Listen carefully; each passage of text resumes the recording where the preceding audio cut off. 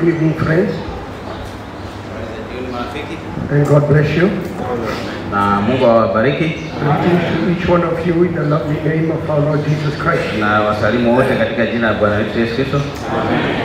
I know when we mention the name of the Lord, Ah, najua unapotamka jina la Bwana Yesu Kristo Brother Brennan said the first time that name was ever mentioned on human lips, wanasema kwa mara kwanza hilo jina lilipotamkwa katika vinywa vya mwanadamu the dead baby, the prophet in the womb of Elizabeth came to life.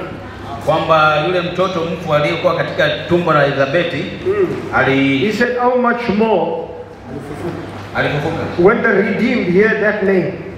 yeah, ni namna gani zaidi kwamba hilo jina lilo The Urim Thummim inside of you. The Urim Thummim inside of you, flesh. Vipi yule ambaye amekaa ndani yako, hilo jina likikaa ndani It yako forces you to say amen and hallelujah. anaenda kulazimisha kusema amina, haleluya, Because all the praise and the glory goes to God. kwa sababu utukufu wote unamwendea Bwana. You see, brother, sister, redemption. ndugu na dada, It's not a word. sio neno. Redemption is not a language. Ukombozi sio lugha. Redemption is an experience Ukombozi ni uzoefu, that you get. Ni ni kuzaliwa upya. That God changes you from Genesis 2 7 Ah, neno linakubadilisha kutoka to Genesis 126. kwenda kwenye Mwanzo moja, kutoka mwanzo mbili saba hadi mwanzo mbili moja kutoka ninapotoa mwanzo mbili mwanzo mbili saba sikurudisha mwanzo mbili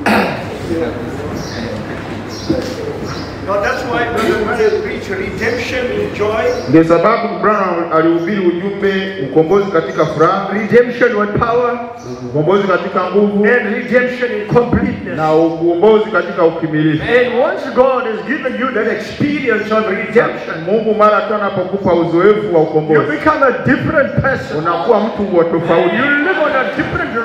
Unaishi kwenye kiwango cha You tofauti, live in this world, but you're not of this world. unaishi duniani lakini sio wa duniani.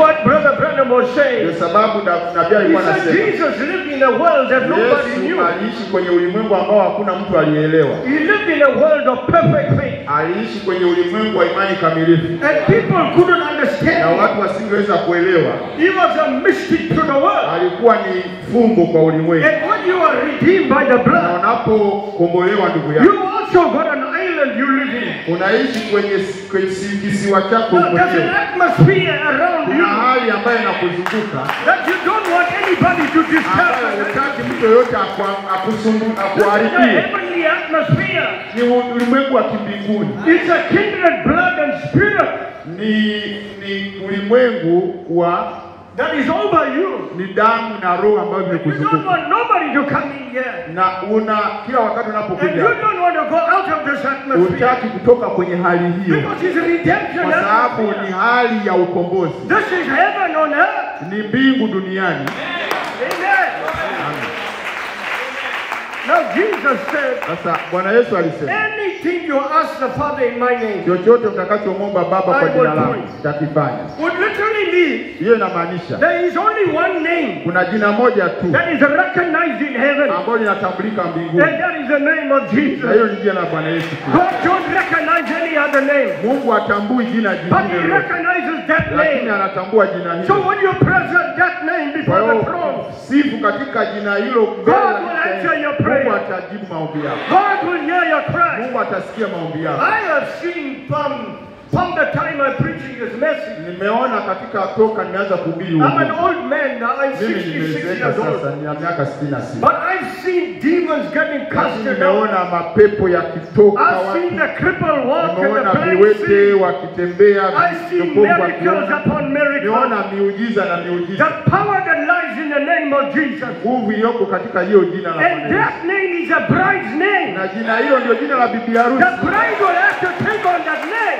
Bibi harusi duniani anaitwa kwa jina So the power is not in the heaven anymore. hiyo nguvu haiko mbinguni The power is in the bride. iko nguvu ndani ya bibi harusi. You have the right.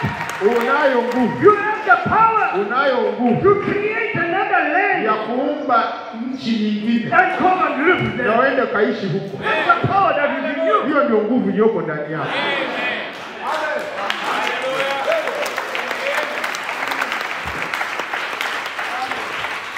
For these many years being in the field, Unajua, nimekuwa kwenye uwanja kwa miaka when mingi, I accepted the message, nipoamini huu ujumbe I didn't want to read books like Jehovah's Witness. sikutaka kusoma soma vitabu vitabu and read books vita- and read. kutusoma soma vitabu vya kina mashahidi wa Yehova the author of this book. nitaka nijue mwandishi wa kitabu ni nani.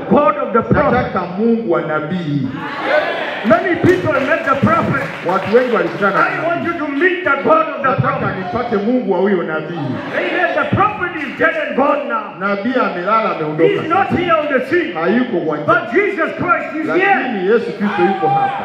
Hallelujah. Amen. Whatever happened in the prophet's ministry, Chochote kilichotokea kwenye huduma ya it nabii is now history, brother. sasa ni historia, ndugu na We can't live today Hatuwezi kuishi leo with yesterday's manna. na maana ya jana. It's the same God yesterday, today, Ni and ye- Mungu ni yule yule jana na leo na hata milele. So we need to recognize our time Lazima tutambue wakati and wetu what God is doing na now. Mungu anafanya nini sasa? So the message will become real to you. Nataka ujumbe uwe halisi kwako. And if you don't see me again, na usiponiona one tena day if you meet me the other side. siku moja ukinikuta ng'ambo ya pili. you say, yeah, that old man from South Africa. nasema yule mzee kutoka Afrika He told me the right thing. aliniambia kitu sahihi. Hallelujah. Amen. I also want to bring greetings from for my family and the church at Sunset Tabernacle. salamu kutoka kanisani kwangu na mke wangu kanisa la Sunset Tabernacle Amkomas. eh, At Amkomas. iko sehemu inaitwa I also want to thank the pastor Nataka for nimshukuru mchungaji pia trusting me kwa kuniamini and allowing me to na preach kuniruhusu kuhubiri hapa behind this pulpit. Nyuma ya mibara I yake. was just feeling so bad, you know, Nilikuwa najisikia because I never haven't met him. We didn't fellowship, Sasa tujakutana And he just opened the door na ushirika na jini ananipa especially mibara with all these things that are going on in the message now. na hasa katika wakati wa ujumbe hali zinazoendelea sasa hivi, this place is Power Tabernacle. lakini ananiambia hapa panaitwa Kipawa Tabernacle. Yeah, so if it's Power Tabernacle, Kama ni kipawa hapa, then the power must be here. basi nguvu itakuwa. If there's no power here, sababu kama something wrong. basi kuna kasoro. If it's Power Tabernacle, Kama ni Kipawa Tabernacle, he must be here. lazima awepo yeye So we're mwenyewe. gonna, even if I just have to greet the church, kama nitasalimia tu kanisa The Lord knows what He's doing. Bwana anajua anachokifanya. Like we just appreciate the Lord. Kwa namshukuru Mungu Pastor, thank you so much for allowing me to greet the church. kwa ajili ya kunipa kibali kuhubiri hapa. With all that is happening right now in the message of the hour, na mambo yote yanayoendelea kwenye ujumbe wa The people in the message is shaking. watu wengi kwenye ujumbe wanatikisika, the people in the message they are shaking. watu ndani ya ujumbe People are running this side. watu wanakimbia huku na kule. And you know, Brother Branham told us the reason that God opened the seal is to produce another efficient group of people. kuzalisha Waefeso wengi, People that are rooted in the word. watu ambao People that are wamemizizi grounded in the word. watu wana If misingi ya somebody comes around Mtu akija huku and they say something different from the akisema kitu messenger, kingine nje ya ujumbe, you stay with the word of the wewe prophet unabaki na ujumbe wa and nabii. you hiyo sio toka. Nabii akusema hiyo, lakini kama usomi ujumbe usisikilizi kanda. Na uchimbi ndani ya ah, ujumbe, oh, utabebwa na maji.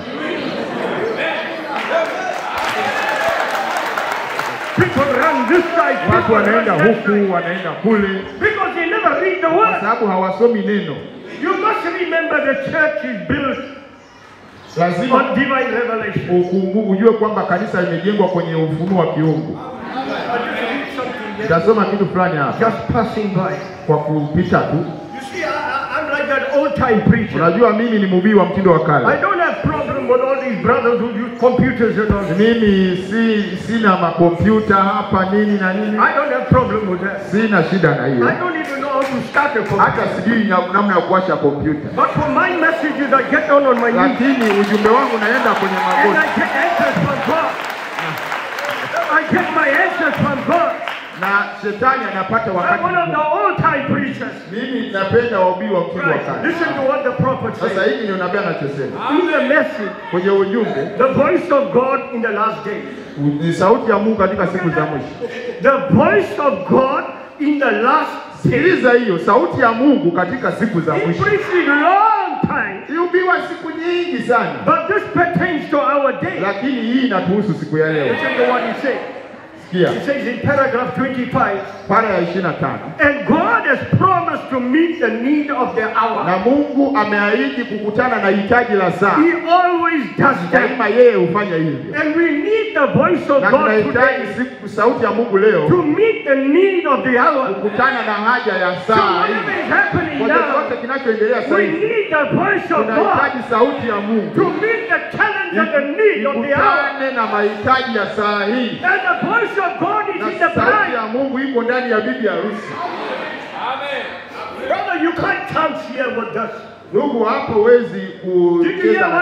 Umesikia nachosema? Don't take a chance Usijaribu kubahatisha the voice of God is in you. kusema eti Mungu, sauti ya Mungu You must make your calling and election sure. Lazima uwe na hakika na wito na uteule wako, That you know when you speak, na unajua kwamba ukinena God will vindicate your word. Mungu ataunga mkono neno lake. Then you are the voice of Hapo sasa wewe ni sauti ya Mungu. Umeona? And after He had promised Na baada ya yeye kuhaidi, we can rest assured tunaweza kuwa na hakika that He will keep His promise. kwamba ataitunza ahadi That's yake. the confidence a Huo ndio ushahidi ambao mwamini anao katika Mungu kwamba aliahidi ya kwamba atatimiza hitaji la saa, aliahidi kukutana na hitaji la saa hii. Na na miaka kama kumi iliyopita the Lord told me to go to the area of Mkoma. Mungu aliniambia niende sehemu fulani inaitwa Mkoma. It's far from my home. mbali sana nyumbani So. I told my dad and my mom, Nikamwambia baba yangu na mama I'm moving to Mkoma. naenda huko Mkoma. And my dad said, Your children are so small. na watoto wangu walikuwa ni How are you wadogo going to feed them? Wewe And you don't have no money. na hela huna. I said, Dad, Nikasema baba, if God sends me there, kama Mungu God will take care of me. Mungu atanishughulikia. God called me. Mungu ameniambia. So I moved. Nikaondoka. We went to that area. Tukaenda kule. Brother, sister, we don't know anybody there. Ndugu na hatujui mtu yote pale. We hired the old building Tumkakodi jengo fulani and we put a blanket on the floor. Tukaweka blanketi sakafuni, watoto watano wakalala pale. Tukaomba usiku huo, tukaingia kulala, nikaanza kuona, nikaona nyumba. Sasa nyumba sipafahamu, sijai kufika pale. Nilipoamka when kukawa na kitu moyoni mwangu, Find that house. hebu tafuta So nyumba. I told the wife, Nikamwambia mke wangu, I need to find that house. sasa naenda kutafuta nyumba, pray for you and the kids. Ngoja nikuombee kwanza wewe na watoto, alafu naenda kutafuta nyumba. Nikaanza kutembea, nikatembea, nikatembea, All I'm looking for is that house I saw in the dream. nikawa natafuta nyumba ile iliyoona kwenye ndoto. I'm just trying to show you how real this message. Nataka nikuonyeshe ujumbe huu ni halisi kiasi gani. So eventually, after a long time, Baada ya muda I found a house. nikakuta yenye It's a long driveway. ni sehemu ya mbali, niendesha muda mrefu, nikaanza kuangalia barabara hiyo. hii, everything naangalia kila kitu that I saw in the dream. nilichoona kwenye ile I said, it must be under the person. lazima iwe that house. na watu fulani. Then I was sure. Sasa nikaona, As I started walking up, nilipoanza I kutembea thought maybe there's dogs there. nikajua labda kuna mbwa I huko, stood like this nikasimama namna so the wind can blow. u- upepo ukaanze So if there's dogs there, kama kuna mbwa they'll smell me and they'll come for me. watasikia harufu yangu So. I walked a little Kwa hiyo nikaenda kidogo, hakuna mbwa kule. As I came near this house, Nika- Nikaribia it's a kusini, nikaona nyumba Oh, kubwa ya kale imechakaa. Kulikuwa na ndani mle, kulikuwa na- mtu analia, akasema wewe mtumishi wa Mungu, ingia ndani ya hili jengo. Mungu amekutuma hapa. Ndugu, nilipoingia I saw a colored sister. nikaona mama bonge la mama mnene hivi mweusi. You know, when she died, Unajua alipo 14 men had to carry the box. hata alipofariki wa, wanaume kumi na nne ndio ilibidi wabebe 14 brothers. Ndugu kumi huyo alikuwa mnene kiasi. And I sat down in the lounge. Sasa nikaingia pale And she said, God sent you akasema. Mungu You believe the end message. Wewe ulete ujumbe. I am right in this area 15 years now. Nimekaa hapa miaka kumi na tano And. I was praying that God must start a message church. Na nilikuwa naomba Mungu aanzishe kanisa la ujumbe hapa. Mungu amekuleta hapa. She said, Pastor, I was a girl, mimi nilikuwa na miaka and my eyes were blind, na macho yangu yalikuwa and my dad took me to the na baba yangu akampeleka akanipeleka kwa And Brother Branham was preaching, na wakati Branham alikuwa na he suddenly stopped akasimama. And he said, Bring that young colored girl here. kasichana kadogo. Hapo kalikuwa kakaletwa huyo mtoto I'm going to pray for her now. nataka nimwombee When sasa. the meeting is over, you take her home, Mkutano ukiisha, mpeleke nyumbani, alafu uweka kamba fulani usoni, around her eye. umfunge. And tomorrow, Alafu at kesho one o'clock, saa cut the lace. Hebu Her eyes will be open. macho yake The father took her and went. Mtoto akamchukua He tied the lace. akamfunga. And the next day, the father cut the lace. Bwana And her eyes open. baba akakata kitambaa, mtoto said to me, Don't tell me about William Branham. Mimi huwezi kundanganya chochote. I am a witness because I sat right Mimi there. ni shahidi kwa sababu alinifungua I heard his preaching. Nilimulia nisikia It was his prayer that opened my eyes. maombi yake yanifunguaga And that's how we started the church there. Sasa tukaanza kanisa kwa huyo mama aliyefunguliwaga. Praise God. Amen.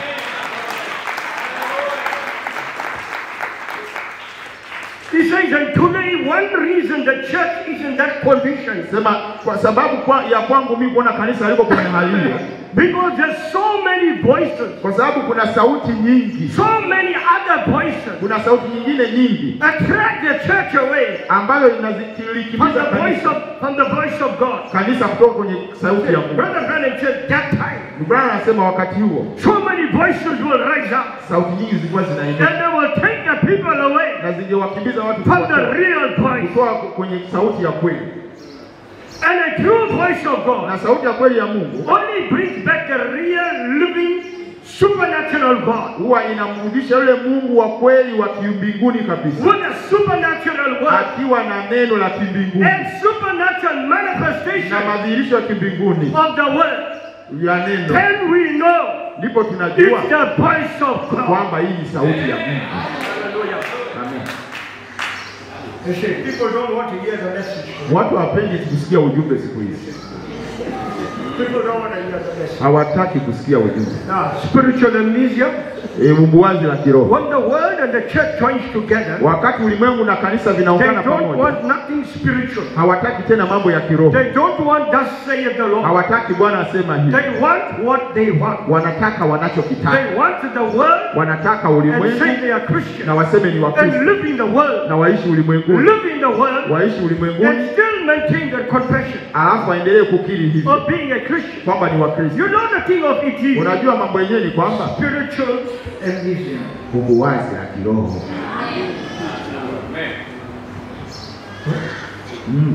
The spiritual signs and preaching of an ordained messenger Ma, e, ishara za kweli na mahubiri ya kweli ya mtumishi From aliyeitwa God. na Mungu kutoka kwa Mungu never stirred them anymore. huwa The woman could laugh right in the face Mwanamke kucheka usoni and say, I don't have to go hear that stuff. sina taka, sitaki kusikia mambo It's repeated again. Inarudiwa tena Spiritual amnesia. Mungu wazi ya kioo. Ndugu na dada, hebu niseme hivi, that's the last plague to hit the Christian church. That's the last plague to hit the Christian church. hiyo ndio pigo la mwisho kuipiga kanisa la Kikristo.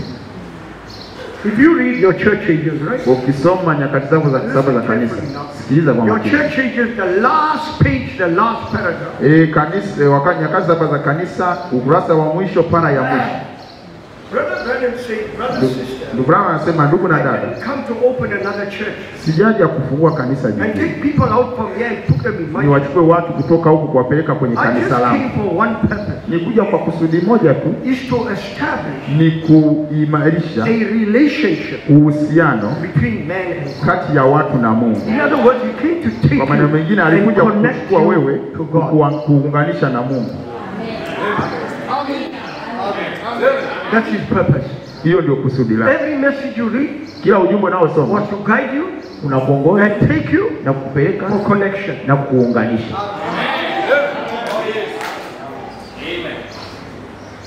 Now I am asking the question, Sasa nauliza swali, How many of you, wangapi I don't care how long you in the message, sijui umekaa muda gani kwenye ujumbe. 10 years, 20 years, I'm not interested. miaka kumi, ishirini, I'm interested in one thing. Nataka niulize, Are you really connected? je, umeunganishwa? Can you tell me you got a relationship with your father? Je, unaweza ukaniambia mahusiano kati yako wewe na baba yako? Brother, sister, you must understand. Ndugu na dada, lazima uelewe, usijaribu kuelea elea kwenye ujumbe. Hakikisha muunganiko, connection. when somebody is connected, Mtu kama ameunganishwa, you know, in the marriage unajua kwenye harusi ya mwanakondoo Nabii anasema kama mwanamume ana- mwanamke hajaunganishwa na mwanaume, not his wife. si yeye sio mkewe bado. He says if the church is pretending to be the bride Anasema kama kanisa linajifanya kuwa bibi harusi and she's not connected to na halijaunganishwa na Kristo, she's not the bride. huyo sio bibi harusi.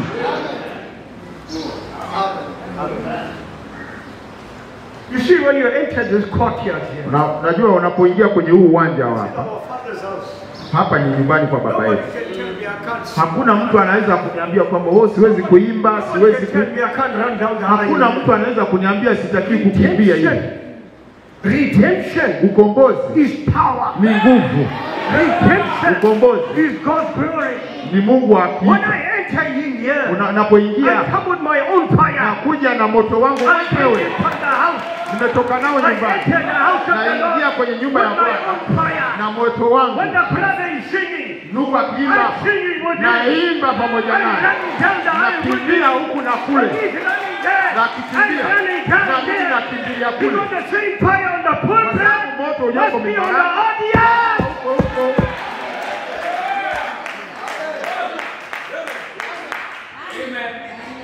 This is not a Baptist message.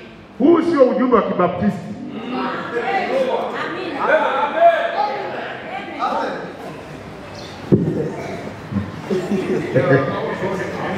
Mungu wetu ni wa halisi, ndugu na dada.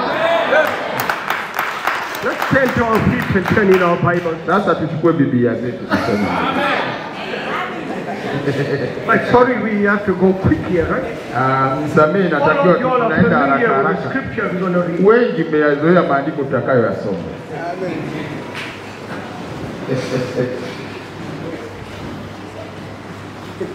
Yeah, this God is messy, brother. Huyu Mungu wa ujumbe huu ndugu, Concentrate too much on the prophet. Concentrate on the God in the message. yaani usika, yaani usi huo nasema tu nabii nabii, ah, du, yani shikia Mungu wa huyo nabii. Watu wamekwama sana kwenye ujumbe. Mhubiri anakuja, anahubiri nukuu zile zile, anaondoka. Another one come. Mwingine He anakuja, ananukuu zile, anaondoka. Another one come. Mwingine anakuja, anahubiri nukuu zile, anaondoka. Another one come. Mwingine anakuja. Unaona, sioni watu kama wamekwama, yani fulani Kuna mahali kama wako Kadesh Barnea, wanazungukia hapo hapo. Na wajua wanafanya. Baadaye wanageuka wanapigana wenyewe kwa wenyewe, kwa sababu hawajui cha kufanya. Lakini ndugu, kuna kitu halisi hapa, hatuna tupande juu zaidi. All right, let's read Malachi 12 verse 5 and 6. Malaki nne tano. Yeah, in the beginning God created the heaven and the earth. Which beginning is that? Eh, hii Mungu hapo mwanzo Mungu aliumba mbingu na nchi. Mwanzo gani huo? Come brother, let's go to Malachi Hebu Twende kwenye Malaki, achana na hiyo mwanzo. Because there was a beginning before that kwa sababu kulikuwa na mwanzo kabla ya mwanzo. Lazima Let's go Malachi sasa twende Malaki sasa, verse 5 and 6. eh, mstari wa. Now, before we get to the subject, Kabla somo, this message, ujumbe, when somebody comes to you and tell you William Branham is a false prophet, mtu akija akakwambia nabii William Branham ni wa uongo, maybe, you can't explain labda huwezi kuelezea, But you know the message. lakini unajua It's ujumbe a personal experience for you. ni uzoefu binafsi na, wewe na Mungu binafsi. be like a blind man in John chapter 9. Utakuwa kama yule kipofu kwenye sura ya tisa ya Yohana. Wanasema huyu mtu sio Yesu, This man is not a son of God. anasema huyu sio mwana wa Mungu. That blind man said, Yule kipofu akasema samani, whether he's a son of God wa, kama ni mwana wa Mungu sijui. One thing I know, Kitu fulani I was blind, nilikuwa but kipofu, now I see. lakini sasa You need that experience. Unahitaji uzoefu, You may never understand the message, hata kama huwezi kuelewa ujumbe, lakini unahitaji uzoefu fulani. ndugu, mwambie dada, sijui mengi kuhusu mwengurumo sana, lakini najua kitu kimoja. Wakati naomba chumbani, malaika wa. Bwana alikuja pale. Unahitaji uzoefu fulani. Behold, eh? Eh. behold. Angalieni, yaani sema angalieni, maanake kila mtu nyamaza, nyamaza, angalieni. Behold. Angalieni. Kumbuka wakati Yohana anabatiza kwenye maji pale kwenye na ghafla akamwona Yesu he anakuja. Asema, the Lamb of angalieni mwana kondoo achukwaye dhambi za ulimwengu. Kila mtu akanatafuta kondoo yule mnyama kabisa, wanatafuta kondoo. Huu kondoo yuko wapi? Huyo mwana kondoo ndio. Yule mwanakondoo alikuwa mtu. Yohana alikuwa nabii, aliota kwa macho ya kinabii, anaona kondoo. You read now. You read. Sasa hebu tusome sasa, tusome huko. Eh, angalieni, Behold, comma. angalieni, I will send you, nitawape Elijah the prophet. nitawapelekeeni Eliya nabii. Behold, I send you, brother. Tazama na kwa naangalia na, kwa, na kutumia wewe ndugu, I send sio you, wao, lakini na kutumia wewe mmoja, Elijah the prophet. Eliya nabii. This is a personal affair. This is a personal affair. Hili ni jambo la mtu binafsi, That God sent Elijah to me. kwamba Mungu alituma Eliya kwangu. Other people around me, Sasa watu wanavyoniambia, many preachers around me, wahubiri wengi wa- wana- they were acting like God sent Elijah to them. wanadai kwamba Eliya ametumwa So kwao. when we were having all the supernatural Sasa experiences, tunapopata matukio ya kimbinguni na wenyewe wanafurahia, lakini kwenye safari.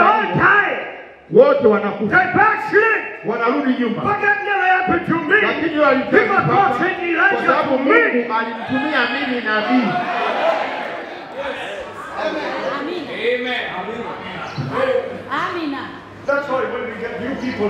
Ndio tukipata watu wageni wanakuja kanisani, tunawatambulisha ujumbe. Nasema I can't help you. siwezi All kusaidia, I can say is that chote naweza kusema ni kwamba unahitaji tukio, have that personal experience, ukipata tukio binafsi, never need to come and teach you the message sina haja ya kufundisha ujumbe tena, Because you know kwa sababu unajua sent the prophet. kwamba Mungu alikutumia nabii. You're going to study your message. Utajifunza ujumbe, utaujua ujumbe wako. Unajua huwezi kuvaa kama watu wengine, unajua huwezi kwenda sehemu ambako watu wengine wanaenda, kwa sababu wewe umepata ujumbe. It must be personal. Lazima liwe la binafsi. He said, before the coming of the great and dreadful day of the Lord. Anasema kabla haijaja ile siku iliyokuu ya Bwana iliyokuu na kuogofya, What is saying, na anachokisema before judgment strikes the kabla hukumu haijakuta dunia, I'm going to send you Elijah. nitatuma Eliya, And Elijah is mercy. na Elia ni rehema, Whenever God sends a prophet, na pia Mungu anapotuma nabii, is mercy to the age. hiyo ni rehema kwa kizazi. So when God sent Malachi Paul, Mungu alipotuma Malaki is mercy to us. ni rehema kwetu. He took us out of judgment conditions. Kwa hiyo sisi anatutoa kwenye hali za hukumu. We were living there, Tunapoishi huko. Ready for judgment. tunamsubiri huko. But mercy to us lakini rehema ikatutoa huko, And we are not living under condemnation. na hatuishi kwenye tarajii And hukumu the bride is not going for condemnation. Kwa sababu bibi harusi hata hukumiwa. Because she received the kwa sababu amepokea neno.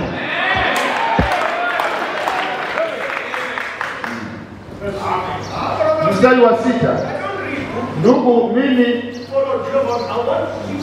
sitaki vitabu vya mashahidi wa Yehova na vitabu, nataka nikutane na huyo Mungu, huyo Mungu. Ndio maana Elisha alipopata ujumbe alipata Elia, akaenda na Elia, akaenda na Elia, akaenda na Elia. Alipovuka Yordani akachukua vazi la Elia. Wakati anarudi Yordani, wakati anarudi Yordani akasimama pale, hakusema yuko wapi Elia, alisema yuko wapi Mungu wa Elia. Abraham came to introduce us Ndugu yangu alikuja kumtambulishia. Bwana Yesu Kristo.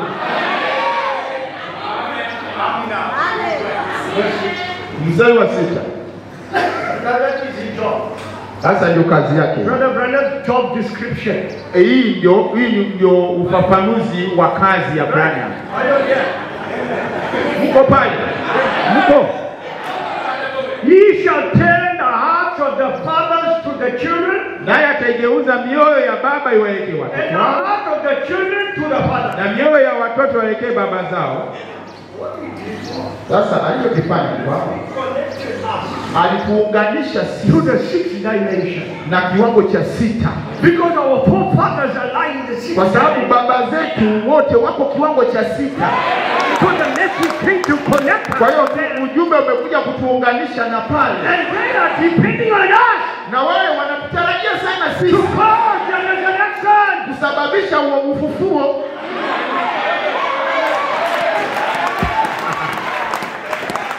Amen. Ndugu, That's why I can't do wrong. ndio sababu siwezi kukosea. Na sitaki kukosea kabisa, kwa sababu baba zetu wako. Nyinyi vijana, hebu muwe na timamu. Wale us. wanatutegemea kule, wanakusubiri wewe usababishe huo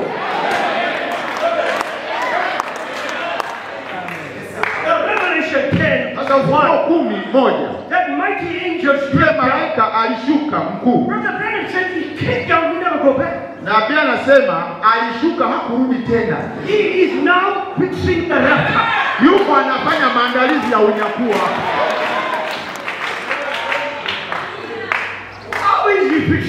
Anaandaandaje kunyakuo? You see, He says the manifestation of the Holy Spirit. Anasema madhihirisho ya Roho Mtakatifu the angel of the Lord. ndio malaika wa Bwana. So when you come into church Unapokuja kanisani and anything wrong in your life, na chochote kikakosoro maishani mwako na Roho anapiga hapo, Roho Mtakatifu anapiga hapo, the angel of the Lord. huyo ni malaika wa Bwana ananena, It's not a pastor. sio mchungaji yule, It's the angel. ni malaika.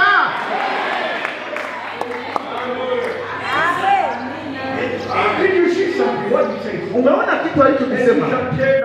Naye atageuza mioyo ya baba na moyo, na nataka niongezee hapa kitu hapa, anasema watoto tu, ni watoto tu.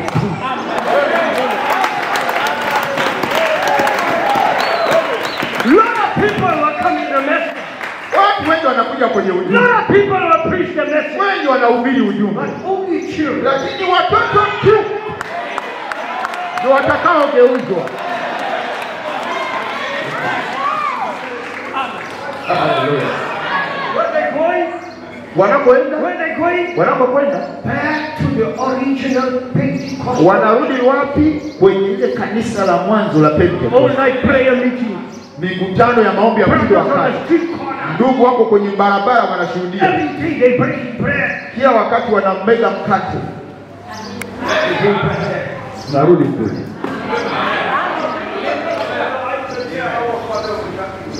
Ah, watu samtaki watu wa kufumba macho. Baba yetu aliye mbinguni, jina lako litukuzwe. Hakuna vitu kama hivyo. toka matoa mambo yako.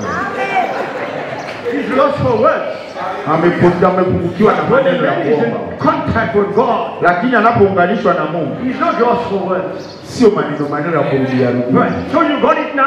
Sasa mmepata hiyo Did God, did the message tell you? eh, ujumbe ulichokwambia nini, you young sister? ninyi mabinti, ujumbe ulichokwambia You want boyfriend? No Facebook? Ndio No unataka, unataka is kupata eh, marafiki wa kiume kutoka kwenye Facebook, mitandao. Rafiki wako wa kiume yuko kwenye kitabu cha uzima cha mwanakondoo. Ninyi wa fulani unatafuta wadada kwenye Facebook, Instagram. The message never teaches that. Ujumbe hujatufundisha na Biblia direct kwamba ni ufunuo wa moja kwa moja that you get from God. kwamba unapata kwa That sister kwamba wewe ni nani, is my wife. mke wangu. Brother, how you can tell me that? Unaweza kuniambia. Pastor, I got a revelation. Tukai nipata ufunuo. I'm going to test your revelation. nitapima ufunuo Whether it is lust or it is God. Kama I ni tamaa au ni Mungu, I will come back and tell you, yeah, it's a revelation. nitakuja nikakwambia huu ni ufunuo kweli.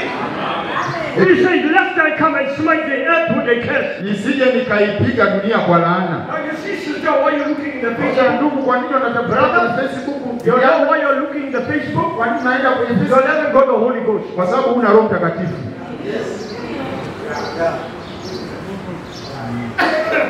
By my check, Mimi kanisani girl, hakuna no msichana, boy. Hakuna mvulana a chance with another boy or another girl. anapata fursa ya They won't kuchukua binti kijana, hawawezi hawawezi kufanya Because they know me. kwa sababu I ananijua. will phone them 2 o'clock in the morning. Nitawafuata saa nane ya usiku.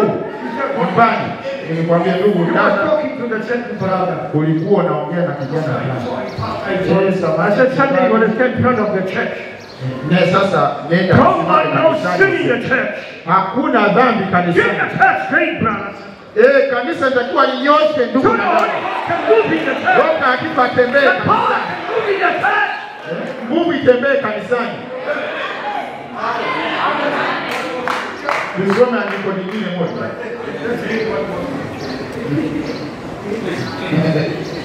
Andiko lingine la ziada. Revelation chapter 3. Ufunuo tatu. Brother, I'm not reading what Brother Branham's testimony. E, unajua ndugu, mimi si, si, yani siishii tu kwenye shuhuda za ndugu Branham. Hilo shuhuda alitoa ndugu Branham, inanitia moyo kweli, lakini nataka nami nitengeneze ushuhuda wangu mwenyewe. He's still the same God. Ni Mungu yule yule, why can't give me testimony? kwa nini asinipe shuhuda na mimi? Hello? Sio sawa hiyo, sio? Revelation 12, 3 verse 20. Ufunuo tatu ishirini. See, this is the Laodicean church. Hii ni wakati wa kanisa la Laodicea. Behold, I stand at the door. See, Tazama, nasimama mlangoni na bisha. behold, I send you Elijah. Behold, I stand at the door. Tazama, angalieni nasimama na mwapelekea Elia nabii. Angalieni nasimama mlangoni na bisha. Zote ni angalieni. This is Laodicea. Hii na wakati wa. Behold, I stand at the door and knock. Angalieni nasimama mlangoni na. If any man hear my voice Mtu akisikia sauti yangu and open the na door, kufungua mlango, I will come in unto him nitaingia kwake and will sup with him. nami nitakula pamoja naye na yeye pamoja In other naye. words, Kwa maneno mengine, redemption fellowship. uko- ushirika wa ukombozi. Amen. So behold, I send you Elijah. Kwa hiyo angalieni na wapelekeni Eliya nabii. Behold, I stand at the door and knock. Angalieni nasimama mlangoni na bisha. This is the revelation Huu ni ufunuo, of a son of man revealing the son of huu ni ufunuo wa mwana wa Adamu akimfunua yule mwana wa Adamu. Basically, Okay. basically, Kimsingi it was God wrapped up ilikuwa ni Mungu akiwa amefunikwa in a prophet. Ndani ya nabii. Unaweza kukaa sasa.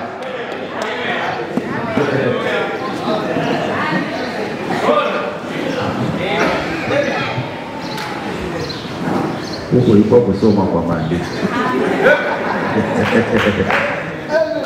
The message is Christ. Ujumbe ni Kristo, Amen.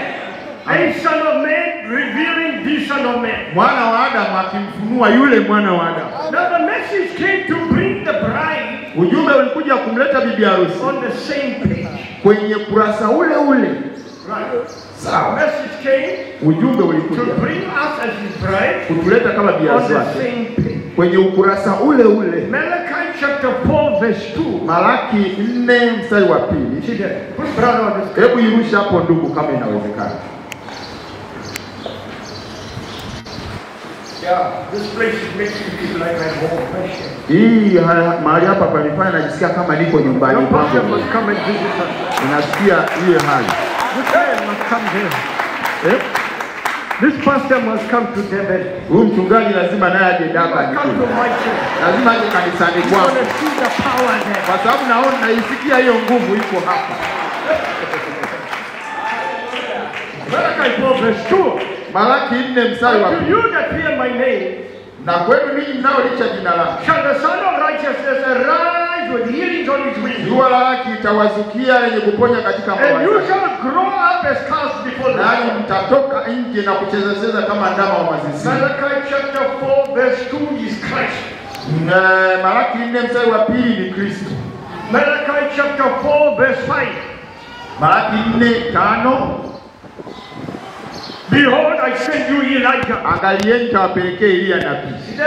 Christ is there. Kristo yuko The prophet is there. nabii yuko pale, And verse 6, and you shall tell us sita naye atageuza mioyo, that is the bride. huyo ni bibi harusi. So they're the same page. Wote wako ukurasa ule ule. Revelation 10, Ukura, uh, Ufunuo kumi, Revelation 10, Ufunuo kumi 1. mstari wa kwanza iweke nayo hapo. And I saw another mighty angel come down from heaven, clothed with a cloud, a rainbow was upon his head, and his face as a feet, and his feet as pillars of fire. That's Christ. Kisha nikaona malaika mwingine mwenye nguvu akishuka kutoka mbinguni, amevikwa wingu na upindo wa mvua juu ya kichwa chake, na uso wake ulikuwa kama jua na Revelation kung'aa kama 10, moto. 1 is Huyo ni Kristo. Ufunuo Revelation moja 10, 7. Ufunuo kumi moja ni Kristo. Ufunuo kumi saba eh. But in the days of the voice of the seventh angel, Lakini katika siku za sauti ya malaika wa saba when he shall, begin to, atakapokuwa tayari kupiga baragumu, in the days of the voice of the seventh angel, isipokuwa katika siku za when sauti ya malaika wa saba atakapokuwa tayari kupiga baragumu. Unajua kila kitu kina mwanzo na mwisho. Brother Branham said hatred has a beginning, hatred has an end. Chuki na mwanzo, chuki na mwisho. So if somebody hates you, you tell them you're going to come to an end. Mtu akikuchukia mwambie haina shida, itafika mwisho.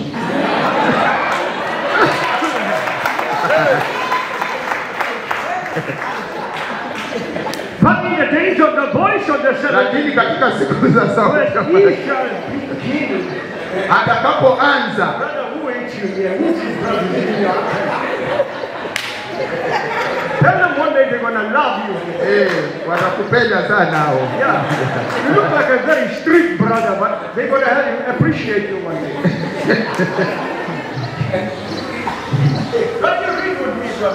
Eh, tusome pamoja ndugu na dada. When he shall begin Atakapoanza kupiga baragumu, the mystery of God. ile siri ya Mungu Okay, it's not finished. Says should. sio kwamba imemaliza, lazima imalizike.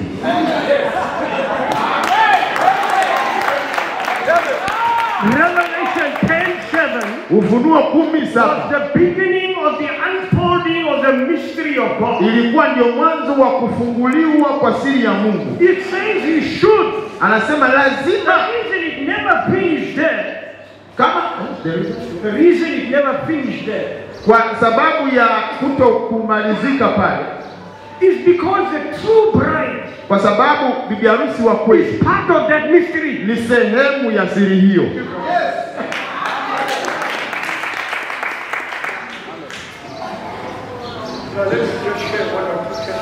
Hebu ngoja tushiriki ush, eh, ushuhuda mmoja au mbili, kama Mungu halisi yuko ndani yako. Sasa hii miujiza mingine yote iko wapi? Kama Mungu yuko pamoja nasi, basi iko wapi miujiza yake? Kama Mungu yuko ndani yako, madhihirisho hayo yako wapi?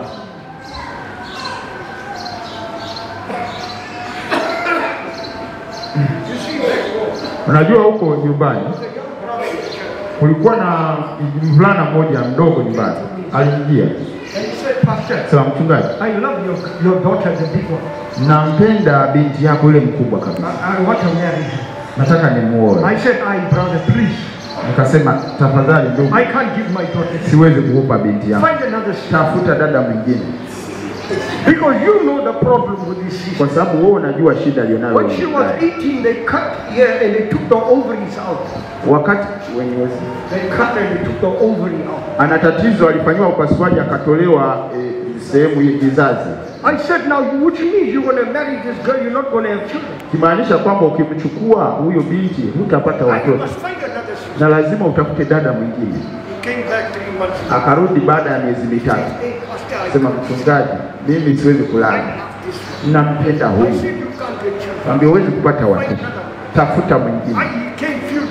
Akaja mara kadhaa, baadaye nikachoka, kaambia nikamwambia hakuna shida. Unataka kuchukua binti ambaye hawezi kuzaa watoto, chukua. Wakaoana. Na hawezi kupata watoto. Siku moja nilikuwa chumba cha maombi, nilikuwa nimezama kwenye maombi kabisa. Bwana akanikumbusha huu ujumbe. ni ujumbe wa Melkizedeki, nguvu iliyoko ndani ya ujumbe. Wakati niko pale kwenye magoti, saw my daughter falling nikamwona binti yangu anashika ujauzito. Sasa mimi ndugu, mimi sifanyi, si, siwezi kuchora, siwezi kuchora. Nilitoka chumbani. Nikaingia jikoni, nikaweka mkono juu ya binti yangu, nikambusu ushavuni, nikasema unajua nini mpenzi, huu ujumbe. una nguvu sana. Na dhidi I see a baby boy being born. Ah, naona mtoto mdogo anazaliwa na The wewe moment I told her, ndani ya tumbo lao. Niliposema tu the moment I told them, mara the Lord anointed them, Bwana kampaka mafuta akaanza kulia na kulia na kulia. Mama akaja akamshikilia ndani ya mwezi mmoja got pregnant. akapata ujauzito, And she gave birth to a baby boy. akazaa mtoto wa kiume.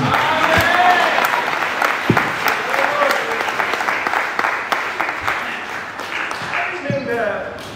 Nakumbuka that was, uh, July I was in Malawi and uh, July I was in Zimbabwe. eh, nadhani ilikuwa mwezi wa saba nilikuwa Malawi, na kabla ya mwezi wa saba nilikuwa Nilikuwa na ubiri kwenye kanisa la mchungaji Joshua And there was a doctor in the church. na kulikuwa na daktari mle I don't know his wife, but I, I Sijui. know the brother is a doctor. mke wake, lakini najua yule ndugu ni daktari. Nilipoingia kwenye uwanja wa paki, mtu fulani akaniambia huyu ni daktari. Wakati na uhubiri the sasa, Holy Spirit took me down the line. Roho wa Mungu akanipeleka tu chini I kwenye went down the line. nikashuka And kule. I said, brother, Akamwambia ndugu, somebody told me you're a doctor. mtu fulani aliniambia wewe, ni But who says your wife can't have a child? lakini nani anasema kwamba mke wako hawezi kuwa na. Ndugu yule akashikwa na akaanza kulia. Nani alisema mke wako hawezi kuzaa? Usimwamini, usiamini madaktari. Hiyo hiyo ndio dawa ambayo imekuja kwenye kizazi chetu, kwenye siku yetu, kuponya kizazi chako. Nikamwombea. Kanisa lote walikuwa wanapiga makelele. sister. Nilikuwa sikujui hiyo idadi. Na washuhudia habari za huyo Mungu. Nataka muone huyo Mungu wa huyo. Kuna wakati ujumbe unauona halisi sana. Nina na jambo hilo ndugu. Seven years later, Miaka saba baadaye kitu fulani katokea. Nilikuwa chumbani, and the Lord told me, go to your daughter. Mungu akaniambia Speak the word. nenda kwa binti I went to her. Na I said, Sharon, sema Sharon, God loves you, my Mungu child. anakupenda binti yako. Receive another son. Pokea mtoto Then And I walked away. Nikaondoka. She fell pregnant. Akapata And they ujauzito. Wakamwita jina lake Seti. He's 10 years old. Ana miaka kumi. He saw the angel of the Lord two times by the pulpit. Alimuona malaika wa Bwana mara mbili madhabahuni. He don't sit in the back, he sit right here. Yeye hakaaje nyuma, yule mtoto anakaa He saw the angel of the Lord two times. Aliona malaika wa Bwana mara mbili kanisani. That boy was anointed, he was crying and crying and crying. Yule mtoto akawa ameshikwa na roho mpako, akawa analia na kulia na kulia na kulia. Hey, This pastor is putting uniform for me. Ah, mchungaji sana niwekea saa tena. Sema nazungumza kuhusu? Mko hapa? Mko hapa ndugu na dada? Mko hapa? Unaweza ukaona jinsi ujumbe ambao ulikuwa halisi sana kwa. Nakumbuka wakati niko Malawi, mtu huko sehemu inaitwa they took me to preach this. I kuhubiri. And I was preaching. Waenda. And when it came to the young people, Nika I started dealing with the young people. Napenda Then I went down the aisle, I brought one sister to stand here. Nikamleta dada moja akasimama. And the Lord led me this side to bring one young man and meet him Nikachukua na stand. mwingine nikamsimamisha huko. Now this brother and this sister, Na huyo mvulana they committed themselves to each other to marry.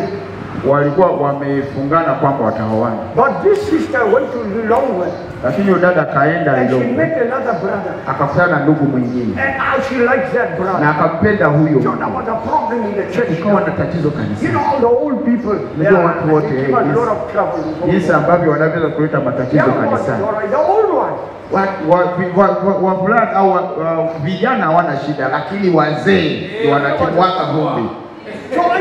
That brother, Kwa nikamwambia yule, we dada, if you promise his brother, kama ulimwahidi yule, then you must marry him. lazima whole church naye. was shouting and dancing. Kanisa lote ikawa linashangilia, wanacheza. The pastor told me later Mchungaji akaniambia baadaye there was a problem in the church. kulikuwa na tatizo kanisani kwa sababu He said, Pastor, but when you call that girl and you call that boy, anasema mchungaji, ulipomwita huyo my problem in the church is over. Tatizo tatizo langu kanisani limekwisha. Sasa huyo Mungu wa hivi kwa where, where's Where's the God of the prophet? Huyo Mungu wa when, nabii. unapocheza kanda ukasikia anasema ndugu, hiyo huyo He Mungu can tell people what they did. Where's that? anaweza kuambia watu kila hicho kilichotendeka. Huyo Mungu yuko wapi? We got the prophet, we got the message. Is Tuna nabii, tuna ujumbe, huo Mungu yuko hapa Without God, Jehovah. E, kama haonekani huyo Mungu basi kutakuwa kuna shida hapa. Utakuwa ni ujumbe wa mashahidi wa Yehova.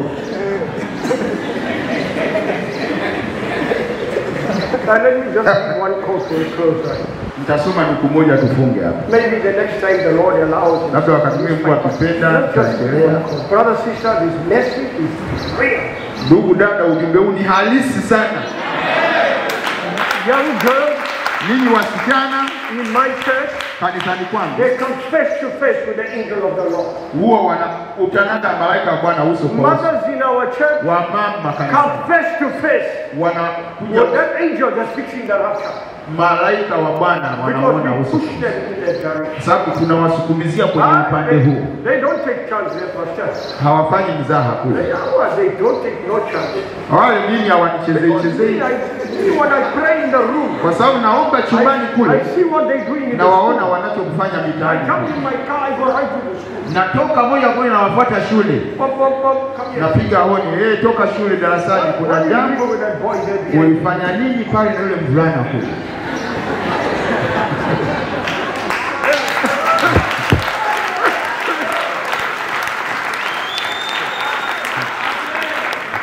If my brother and his sister got a fight in the house, Kama ndugu na dada wakipigana nyumbani, I stay 100 kilometers mimi nakaa mamia ya kilomita kutoka kwao. tell me the words the sister used. Bwana ananiambia wamepigana matusi gani huko nyumbani na maneno gani ndugu alitumia. I jump in my car. Naruka kwenye gari na wafuata nyumbani. One o'clock in the morning, I'm by the house. Saa saba usiku,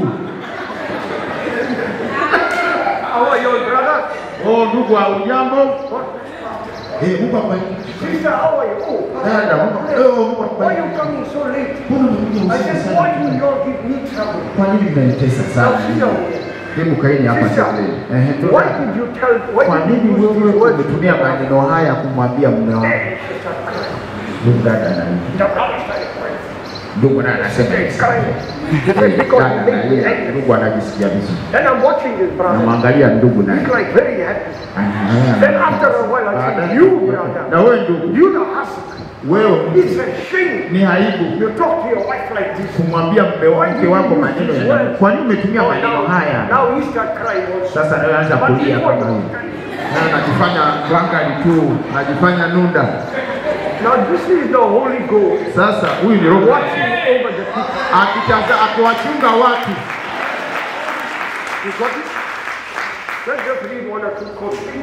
Nukuu moja mbili kumaliza. the point that I want to bring to your attention Kitu ambacho nataka is mkizingatia, that this message is a supernatural message. huu ni ujumbe wa kimbinguni kabisa. Is that right? Hiyo ni sawa. From start Kuanzia mwanzo mpaka mwisho ni mambo ya kimbinguni. you cannot take the supernatural away from the message Huwezi kuondoa ya kimbinguni kutoka kwenye ujumbe, because then the message is dead. basi ujumbe utakuwa umekufa. You see, that's why we, Pastor, we lock them. Ndio maana mchungaji, napenda waelewe kwa nini wanakuja kanisani, lazima waelewe. Nobody. Hakuna mtu anakuja kanisani, kila mtu All yuko ndugu all wote the wako nje, dada. Vijana wote, Kabla wajaingia kanisani. wote wanaomba huko kwanza, least 15, 20 minutes. angalau dakika kumi na tano They ishirini waombe. They must leave the demons outside. Lazima wache mapepo yao nje huko.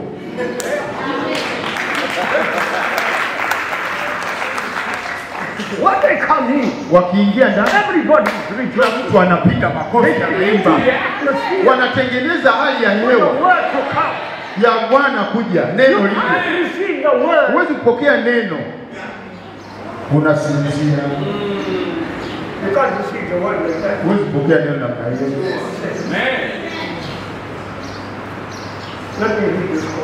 Hebu nisome hizi nukuu. Unaamini ujumbe ni wa kimbinguni huu?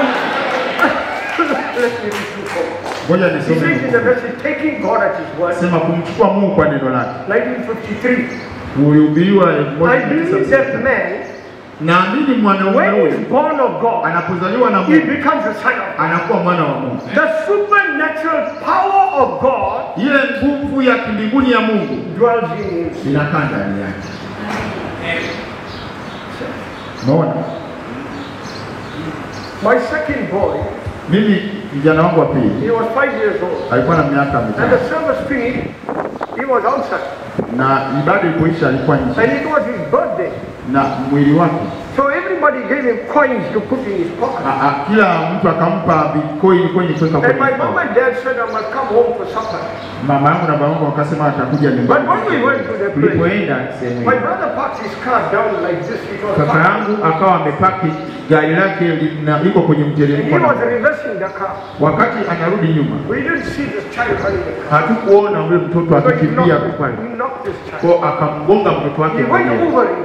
Akamkanyaga kabisa. And then when he heard the scream, Aliposikia kilio he didn't know what was that. He took number one and he Hakujua. went over him again. akujua ni nini, akakanyaga ga- breki kwa kupanika, akamkanyaga zaidi, na kwa sababu kila kitu kawa damu pale zinavuja tu. So I went and I carried this boy. Naenda nikamchukua yule Then I said, brother, let's rush to the hospital. Nasema ndugu, twende hospitali. So on the way now, Wakati uko njiani, my brother was not a believer that time. kakaangu hakuwa mwaminia, And he said to me, brother, mwambia ndugu, you know your God lives. najua wewe una Mungu wako. He said, your God lives. Na Mungu wako sana. That one that appeared in the pillar of fire in yule ambaye alitembea na nguzo ya moto you. He healed your child akamponya mtoto wako alikuwa na. Basi naomba mwombee God mtoto wangu, mdogo wangu, muombe Mungu know, Nilikuwa na mtoto mkononi mwangu, nikasema Bwana, nafurahi kwamba nakufahamu, nafurahi kwa sababu nakufahamu, na wewe ni yule yule. You know, we fail, but you don't fail. Sisi tunashindwa, lakini wewe Now, unashinda. now I have a situation, Sasa, boy is lying in my hand. hali hapa, mtoto kakaa mikononi mwangu, karibu anakufa, na anakata roho. the. Sasa sijui kama tutafika watu wasikie. But you know, Lord, be merciful. Lakini Bwana, hebu rehema zako na I labor for you. na nimekutumikia, the the niko uwanjani kila wakati. Don't take this. Usimchukue mtoto. Brother, before we go to the hospital, kabla hatujafika the hospitali, mtoto akajitikisa, akakaa, kusema baba, what's happening? hapa nini kinaendelea? naona Mungu huyo.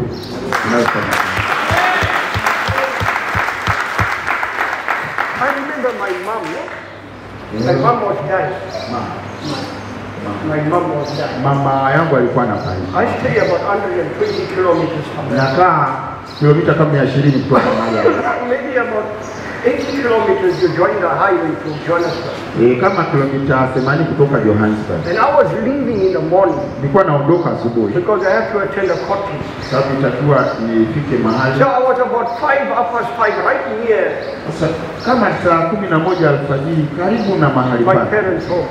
karibu na nyumbani And kwa my big sister. Sasa Dadangu akanipigia simu mama anakufa sasa hivi, got last few more breaths. ana pumzi chache zilizobaki, naye anavuka sasa. I said, what happened? Sema nini Then? I turned and I went to the house. Nikakunja When I nikaenda, got to the house, everybody cried. kufika pale kila mtu analia, And I stood there, my sisters nikasimama pale, dada zangu zote na wanalia. And I stood there and I was just looking at my mom. naangalia pale mama yangu tu, And I, you know, in my heart, I said, Lord, moyoni mwangu najua Bwana you know, this is a good mother. wewe ni mama mzuri sana, But ever since you called me, kila lakini I toka don't come umeniita home. I don't come here, mother. siji I don't have the privilege to talk to her. sina fursa ya kuongea naye sasa. Hebu Bwana fanya jambo fulani kwa saw ajili the yangu. vision. Nikaona And I saw my mother rising up from the bed. nikaona mama yangu ananyanyuka kwenye She's kitanda, wiping her mouth. anafuta mdomo And wake she's give me something to eat. akisema nipe And the chakula. moment I saw that, Mara nilipoona called hiyo my sister. nikaita dada And I zangu, said, Mama is going to be okay. mama atapona, Now stop crying. acheni kulia, I'm going to pray for her. tamwombea Before 10 minutes, Mama will wake up from kabla dakika kumi atakuwa wipe her mouth atafuta And mdomo she's going to wake say she wants na ataomba chakula. I pray. Nikaomba, I jumped in the car. nikaruka kwenye I'm gari, moving now to Johannesburg. nikaondoka kwenda time. Dakika nane nikaangalia saa, dakika my ya nane dada yangu akapiga simu, said, Mama woke up. sema mama kanyanyuka, She woke up from there. amenyanyuka tena, amefuta mdomo wake and she said, na akasema naomba chakula. I back from Johannesburg, Hiyo ilitoka wapi? I said sat was my mother. Nikakaa na mama I said, Mama, you know, kaambia mama, so many in the family, tuko wengi kwenye familia, but lakini the Lord called me to preach. Mungu aliniita nihubiri. I have a duty. Mimi na wajibu. You can go home and ask my wife. Naweza kwenda nyumbani ukamuulize mke We wangu, live in the same house, tunaishi nyumba ile, but we hardly spend time together. lakini sipati muda hata na mke Because wangu I'm mara nyingi. always in the prayer. kwa sababu kila wakati niko kwenye I'm chumba cha maombi, of the house. niko nyumba hii na nyumba So hii. please understand. Kwa naomba uelewe I love you with all my heart. nakupenda kwa moyo wangu But wote, one day, lakini siku when moja we all cross, tutakapovuka wote kule, tutakuwa na wakati But mzuri sana kule, lakini kwa sasa lazima nimtumikie Bwana. Moyo wangu ni kutafuta hiyo ni mbegu ya mwisho. You might say, "Why why did I come to Tanzania?" Naweza kusema kwa nini nimekuja Tanzania? You know, brother, sister, Najua ndugu, I just had this desire in my heart, nisikia moyoni mwangu shauku Tanzania sasa, lakini sijui mtu. Nikaanza kuomba. And when I went to Malawi, I was Wakati natoka. Malawi, niko kule Malawi, Then I met a brother nikakutana na ndugu who told me he knows brothers in Tanzania. akasema anajua ndugu walioko Tanzania. that's how I landed here. Ndiyo namna nilivyofika. Now I believe in my heart Sasa naamini moyoni that mwangu God sent me for a reason. Mungu alituma kwa I sababu don't go anywhere unless God Sijui. Siwezi kwenda sehemu ambapo Mungu hajanituma. Now we got different classes of people in our church. Sasa tuna matabaka mbalimbali ya watu kanisani. We got black, Tuna Wahindi, weusi, wa rangi wa nani, chotara. So one of the preachers back home, Sasa mmoja wa wahubiri huko he nyumbani said to the church, aliwaambia why kanisa, does our pastor want to go Africa, kwa nini mchungaji wetu anapenda kwenda So Afrika? after the meeting, I took the pulpit. Baada ya mkutano nikachukua I said to the church, nikamwambia kanisa, you know when Jesus was going up that Calvary hill, wakati Yesu anaenda Kalvari there was a place you couldn't manage. kulikuwa mahali ambapo hawezi kufika, anapambana. And Brother Brennan said there was somebody by the name of Simon. Brother anasema kuna mtu alikuwa anaitwa He said he was a black brother. alikuwa mweusi, He carried the cross. alibeba ule msalaba, just took it literally. kumsaidia Yesu, akaenda nao. Then I said, you remember, Kasema unakumbuka, God told uh, Joseph, Mungu alimwambia Yusuf. take Mary and go into Egypt. nenda chukua Mariamu peleke Misri. You see Africa. Naona Africa. You see Moses came into Africa. Musa alikuja And he married an Ethiopian sister. na akaoa Mwafrika I said, you see, Brother Brandon says, Naona ndugu Branham the last seed mbegu ya mwisho might be in Africa. inawezekana iko Afrika. That's why I like Ndio maana napenda kuhubiri Afrika.